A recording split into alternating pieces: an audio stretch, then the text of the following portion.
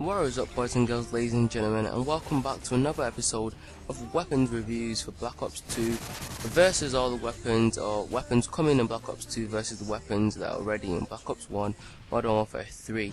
Also guys, I'm sorry that this is so late, I'm supposed to have made this video like last week, but I was depending on people to get me gameplay and stuff like that, but yesterday I got my PVR, so obviously I could get gameplay for myself. Now this is an MP7 gameplay because it needs to be, on the map interchange. I was playing Team Deathmatch, I think I went 26 to 10, but that, that doesn't really matter, we're just here to do the comparison for the weapons and see how this weapon has changed, if it's been improved, or you know, degraded in Black Ops 2 compared to Black Ops 1.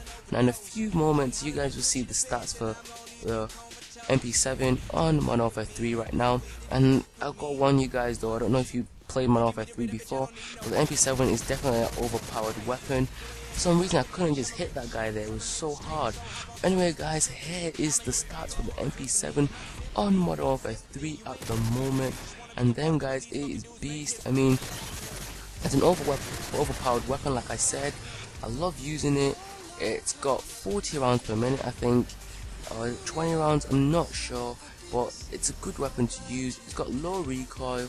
Very, very, very low recoil. Because when I shoot with it, the weapon doesn't fire back at me like a freaking rocket.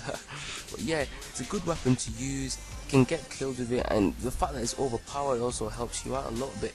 And yeah, so the MP7 is a good weapon to use in Modern Warfare 3. I enjoy using it. 40 pounds per minute, 40 pounds per minute, low recoil, and I don't think that should change in Black Ops 2 as well because the MP7 is already a good weapon, and you know it's good to get kills, and the only thing they can do is just to take it down. They can't improve it anymore, I don't think. But in a few seconds, you see the stats for Black Ops 2 MP7. Couldn't find a good image for the gun itself, so I had to just bring what I had. But here it is, guys.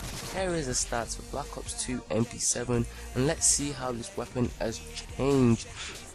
Now, first to begin with, guys, I don't think the weapon has changed that much. It does still have low recoil. The recoil isn't that high because obviously, like I said, the recoil was great before. There will be no need for them to change the recoil as as the fact that, like I said, the recoil is already great. Now, also, guys, the only thing I think has changed this weapon might be its accuracy, and I think they've increased accuracy a little bit more.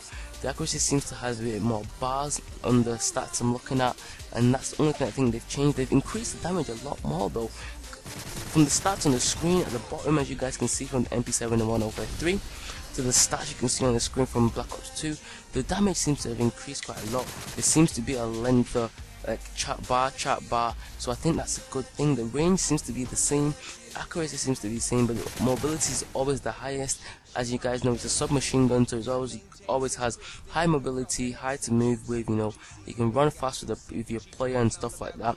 So I don't think a lot has changed in this weapon apart from the damage. I think the damage is slightly increased. I think that's a good thing, obviously, because more damage you have, more kills you get.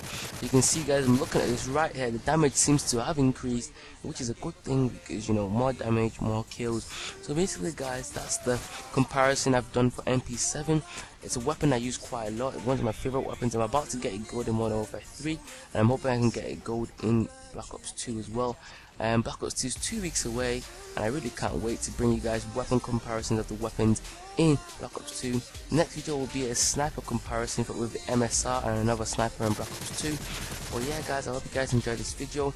If you agree with the points I made, please leave in a comment in the comment section below. It really helps me to know whether you guys agree with the comparisons I've made. And if you don't, let me know as well about what you think about the comparisons I've made. So basically guys, this video is coming to an end. I hope you guys enjoy the gameplay. Not the best gameplay because I'm not the best player. but yeah guys, thank you guys for watching. I hope you guys enjoyed and I'll catch you guys in the next video. Peace. What I could find was that the mobility of the weapons a lot it's about the same as the Black Ops 1 Scorpion and it's not really changed that much. The damage though has changed and I'm looking at a lot of stats thing and looks like the damage is about 4 or 5 bars which isn't that bad. The range is decreased though uh, so which means well to be honest the range isn't decreased. The range seems to be